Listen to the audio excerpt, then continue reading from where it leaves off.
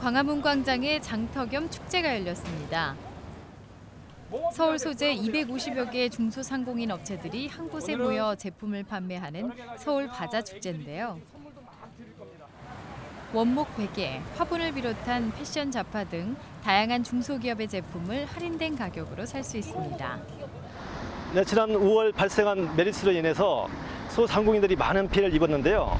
여러 가지 그 지원 방안 중에서 이번에 창고에 쌓인 우수한 제품들을 판매할 기회를 제공하고요. 시민들에게 메리츠 동식을 선언하는 의미에서 서울시와 상공인소가 힘을 합해서 추진하게 되었습니다. 축제 현장에는 외국인들의 방문도 적지 않은데요.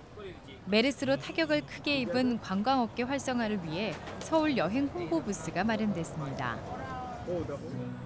또한 이번 축제를 기점으로 서울시 역점 산업 분야 우수기업 특별관도 따로 운영돼 지역 경제 활성화에도 힘을 보탰는데요. 성수 수제와 종로 주얼리를 비롯해 신진 패션 기업들이 참여했습니다. 이 밖에도 다채로운 부대 행사로 시민 참여 공간이 마련됐는데요.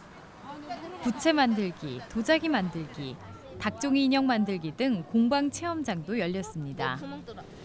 꾹 눌러서 구멍 뚫어. 부채를 만, 만들어서 내가 만들어서 더 시원하고 어, 내가 꾸미고 하니까 더 좋았던 것 같아요. 좋은 경험이었던 것 같아요.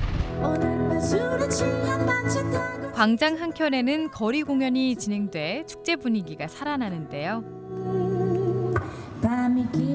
물레 체험이랑 핸드폰 거리랑요 그리고 가방이랑 사는데 너무 좋았어요 저렴하기도 하고요 애들도 너무 좋아했고요 메르스 때문에 경제도 안 좋고 하는데요 저희가 어, 애들도 좋아하는 체험을 하고 또 저렴하게 해가지고 예, 뭐 경제에 도움이 될 것 같아서 너무 저, 예, 마음도 좋고 뿌듯합니다. 내일까지 진행하는 서울 바자 축제. 많은 시민들의 참여로 중소상공인에게는 힘이 실리고 침체된 경제는 다시 살아나길 기대해 봅니다. TBS 리포트입니다.